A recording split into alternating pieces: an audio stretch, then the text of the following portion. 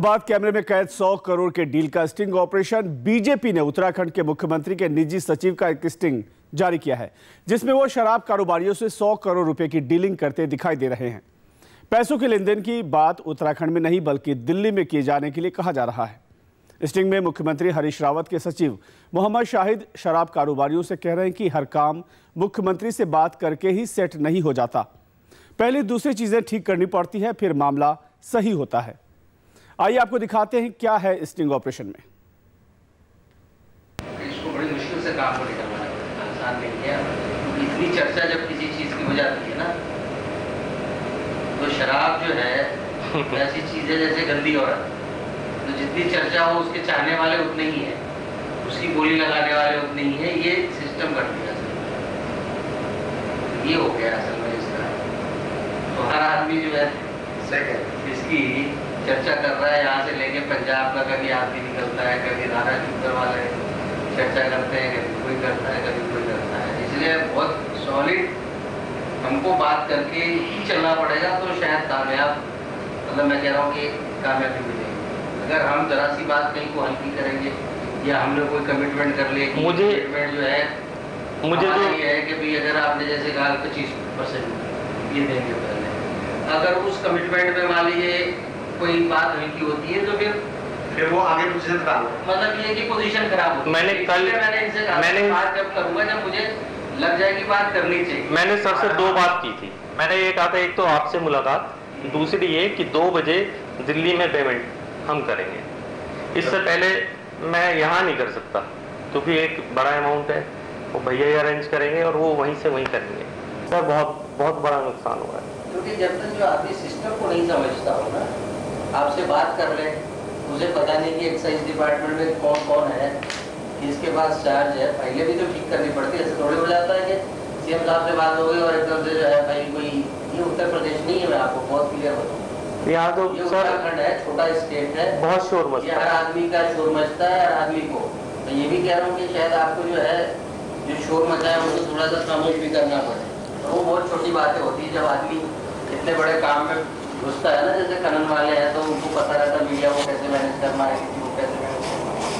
छोटी मोटी चीज़ें उन्हें करनी पड़ती है। हरियाणा से आता है कोई आदमी कभी जो है वो सर मैंने आपको एक ही नाम बताया एक ही नाम बताया उस समय जब ये सीएम भी नहीं बने थे तो वो उनके साथ लगे हुए थे। गाजियाबाद में सारी मीटिंग्स अरेंज करना वही करते थे। हाँ, तो हम भी उसी इन्फ्लुएंस में थे। भाई वो सारे दिन हरीश रावत जी के साथ कोई घूम रहा है तो क्या मतलब है? चलिए सर मैं कल अपना वादा पूरा कर देता हूँ। बस मुझे एक चीज़ बता दीजिए कितने दिन में पूरा हो जाएगा? बहुत टाइम नहीं होता। एक बार अगर अंदाज़ा एक सर एक अंदाज़ा। अंदाज़ा क्या है जब आप एक, एक चीज़ फाइनल होने होनी होती है तो दस पंद्रह दिन में हो जाती है। जब एक बार एक प्रिंसिपल बात हो जाएगी तो हम किसी अपने एक्साइज के मिशनरी या किसी को लगा देंगे तो आपके पेपर ठीक कराएँगे जिससे पेपर में कोई कमी ना रहे। किसी को हम लगा देंगे उसमें? तो जब एक बार बात फाइनल हो जाएगी। ठीक है। तो जैसे इन प्रिंसिपल हम हाँ इन प्रिंसिपल हो। हैं। बिल्कुल सही सर इन प्रिंसिपल जब ऊपर लेवल में एक बार फाइनल बात हो जाएगी तो हम अपना अधिकारी दे देते हैं कि भाई इस अधिकारी से आप टच में रह करके जो भी पेपर है पूरे करो। ठीक है। सिस्टम ये होता है। इस स्टिंग में उत्तराखंड के मुख्यमंत्री हरीश रावत के निजी सचिव मोहम्मद शाहिद का चेहरा साफ़ नहीं है। लेकिन आइए हम आपको दिखाते हैं हरीश रावत के सचिव मोहम्मद शाहिद कैसे दिखते हैं। ये वो मोहम्मद शाहिद है जो हर वक्त साय की तरह मुख्यमंत्री के करीब रहते हैं। ये गुजरात कैडर के आईएएस हैं। जब यूपीए टू सरकार में हरीश रावत केंद्रीय मंत्री थे, तब भी मोहम्मद शाहिद उनके सचिव थे।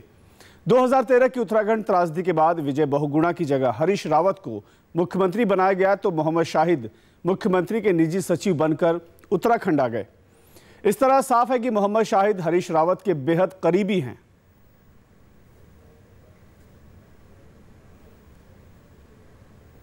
तो आपने देखा कि मुख्यमंत्री हरीश रावत के कितने करीबी अफसर हैं मोहम्मद शाहिद। अब देखिए बीजेपी की तरफ़ से जारी स्टिंग का दूसरा हिस्सा जिसमें मोहम्मद शाहिद कैसे शराब कारोबारियों को सब कुछ ठीक ठाक होने का भरोसा दे रहे हैं। मैंने इसलिए भैया से कहा था कि मेरे बड़े जो ब्रदर हैं जो इस पूरी डील को डील करेंगे जो सब चीज़ करेंगे मैं एक बार भैया आपसे मुलाकात करा देता हूँ। मैंने यही बात हुई थी कि वो इसमें महारत वो सब कुछ बता देंगे आपको। नहीं क्योंकि आप लोग मिले होंगे मैं हंड्रेड परसेंट मैं हरिपाल हरिपाल जी ने हमारा मैं जो है मुझे हर चीज़ पता है। हरिपाल जी ने हमारा ना ऐसे गिरा के मारा है ना बस पूछिए मत। क्योंकि मैं इसलिए पूछ रहा हूँ ये सब चीज़ें कि बहुत इस बात की हर दूसरा आदमी देहरादून में घूम रहा है। हाँ सर ये तो बात कि जी एफ़ एल टू का मैं करा दूँगा एफ़ एल टू का हो रहा है एफ़ एल टू का इसको हो गया एफ़ एल टू का उसको हो गया। ये चर्चाएँ ना हो। पहली बात तो कितने दिन में होगा? दूसरा कि, कि जैसे मान लीजिए अक्टूबर में हो गया। अक्टूबर से अक्टूबर होगा या अक्टूबर से मार्च होगा मार्च के बाद रिन्यूअल होगा ये चीज़। तो उसके बाद फिर दोबारा सीएम साहब से नहीं मिल पाया सर बहुत बार मुलाकात हो चुकी है वो उन्हें गोली दे रहे हैं वो उन्हें गोली दे रहे हैं बस ये हो रहा है कि पेमेंट वापस जाएगी। मुख्यमंत्री के सचिव की कथित सीडी के बारे में उत्तराखंड के सीएम हरीश रावत से इंडिया टीवी के editor in chief Rajat Sharma ने बात की। सीएम रावत ने सचिव पर कार्रवाई से के बाद से पल्ला झाड़ा लेकिन सीडी की जाँच का भरोसा दिया। उत्तराखंड के मुख्यमंत्री हरीश रावत इस वक्त हमारे साथ में है। रावत जी बहुत स्वागत है आपका। रावत जी बीजेपी ने आपके प्राइवेट सेक्रेटरी का शाहिद का जो स्टिंग जारी किया है उसमें सीधे आप पर इल्ज़ाम लगाया है। और निर्मला सीतारामन कह रही थी कि आपकी सरकार ने इस मामले में काफ़ी पैसा बनाया। पहली बात तो यह है कि बीजेपी में किसी ने अभी तक जो तथाकथित स्टिंग की बात वो कर रहे हैं, न उसका स्थान बताया है, न समय बताया है, और न उसको वेरीफाई किया है, और ऑथेंटिकेट नहीं किया है जो सीधी जारी की है, न वॉइस को ऑथेंटिकेट किया है। दूसरी बात यह है कि निर्मला सीतारमण जी ने जिस समय बात कही है, उन्होंने ये कहा कि सीडी जारी करते वक्त कि एक पॉलिसी थी, पब्लिक सेक्टर शराब का व्यापार करता था उत्तराखंड में, हरीश रावत की गवर्नमेंट ने बदल करके उसको प्राइवेट व्यापारियों को दे दिया। और उसकी सौदेबाजी हरीश रावत के पीएस ने या सेक्रेटरी आबकारी ने की करके। हकीकत यह है कि पहले से भाजपा के समय से एक आबकारी पॉलिसी चली आ रही थी जिसके अंदर प्राइवेट जो बल्क लीकर का ट्रेड था वो प्राइवेट हाथों में था। लेकिन हरीश जी आपके सेक्रेटरी जिस शराब के कारोबारी से जिस अंदाज में बात कर रहे हैं पैसे की डील कर रहे हैं वो क्या सही है? देखिए मैंने ओरिजिनल सीडी तो देखी नहीं है, लेकिन जो कुछ मैंने आप लोगों के चैनल में देखा है, उसमें कोई चीज़ स्पष्ट नहीं दिखाई दे रही है, आवाज़ भी स्पष्ट नहीं है, ब्लरिंग है, बीच में जो स्टेटमेंट हैं, उनमें कुछ कहते हुए फिर ऐसे ऐसे जो है, ऐसा लगता है जैसे कोई चीज़ कटफिट हो रही हो, फिर कुछ चीज़ की जा रही है।